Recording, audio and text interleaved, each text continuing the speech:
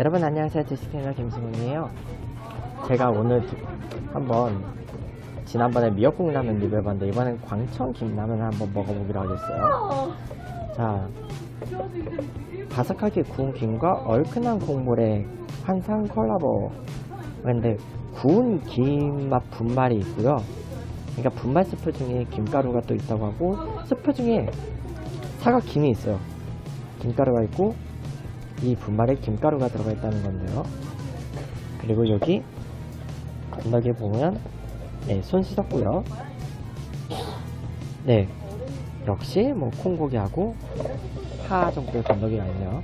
한번 그 이제 건더기를 넣어보겠는데요. 여기 보면 김은 김은 이제 다 끓인 다음에 넣으라고 하네요.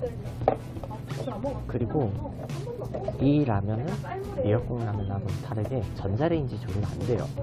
그래서 그냥 넣고 4분을 기다리는 수밖에 없거든요. 그래서 한번 넣어보도록 하겠어요. 음, 여기 분말식을 보니까 아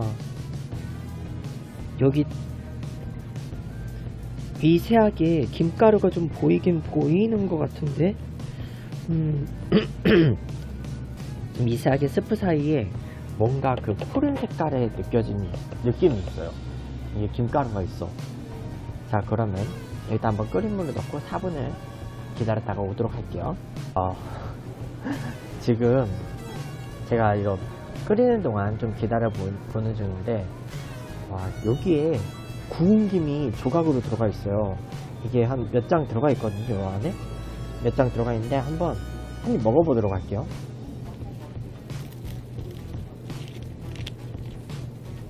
음, 한입 먹어봤는데, 아, 진짜. 아니, 밥하고 간장 딱 있으면 진짜 그거 딱 그냥 밥 한 끼 먹을 수 있는데, 그 밥하고 간장하고 딱이 고기만 있으면, 딱 그 밥도둑이거든요. 이걸 그, 여기 참기름하고 소금 안 발랐거든요. 그냥 그대로 그 간장만 좀 있으면, 아, 그, 아, 그, 뭐냐, 이번에 그 오뚜기가 또 떡라면도 나왔던데 그 거기에 딱 이 사각김 있으면 진짜 딱 좋을 것 같은데 뭐 그렇단 얘기예요. 일단 이거는 한 입 베어 물었으니까 맞아 먹도록 할게요. 그리고 여기 있는 김 나머지 나머지 김 조각들은 그냥 여기 김에 여기 그냥 이렇게 토핑을 해서 먹어보도록 하겠어요. 네, 이제 4분을 익혔는데 일단은 그냥 김, 김 사각김을 넣기 전에 한번 맛을 봤는데 그냥 뭐 진라면 맛하고 살짝 약간 그냥 비슷한 느낌? 완전한 진라면까지는 아니에요. 왜냐면 그 분말 가루에 그 김가루 아주 분말가루 입자 크기의 김가루가 살짝 들어가기 때문에 그 맛은 살짝 다른데 이제 여기에다가 이 사각김을 좀잘좀 섞어서 넣어볼게요. 음, 일단 이렇게 넣고 손 좀 바꾸고 네. 좀 이렇게 한번 섞어 볼게요. 좀 이쪽은 이렇게 섞고 이쪽은 이렇게 좀 한번 좀 국물 속에 좀 한번 스며들게 하고 먹어보도록 하겠습니다. 자 그러면 한번 젓가락이 약간 지금 살짝 휜 것 같은데 좀 이해 좀 부탁할게요. 음.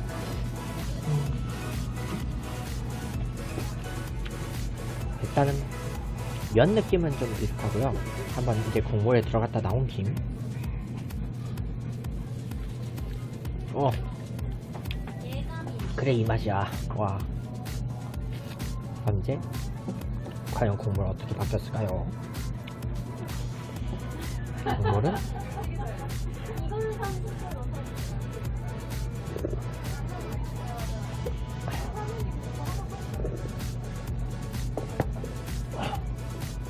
와.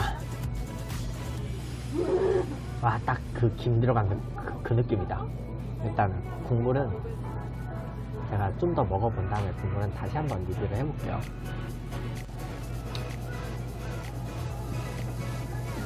자, 제가 좀 먹어봤는데요.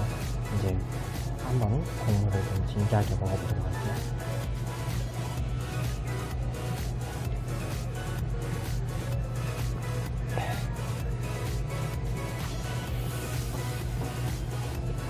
일단은 그냥 국물 맛 자체는 그렇게 넣을 때랑 안 때랑 그렇게 큰 변화는 없는 것 같아요. 달라면 먹는 느낌 비슷하고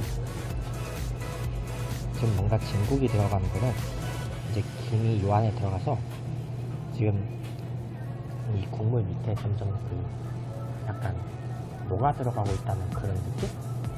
그래서 지금 이제 뒤로 갈수록 진국이 들어가고 있고요. 좀 그냥 뭐 국물에 뭐 김 넣어서 드시는 분들은 뭐 이런 맛을 좋아할 것 같긴 해요. 물론 집에 김이 있을 때만 좀 해먹지만요. 대신에 이 김을 넣게 되면 이미 국물을 좀 먹어버리기 때문에 그런 점이 좀 영향을 하지 않을 것 같아요. 그러면 저는 옆에 다른 분이 있는 관계로 자, 빨리 먹고 제가 자리를 비워드리도록 할게요. 자, 그러면 그냥 자, 다음번에 만나요. 안녕.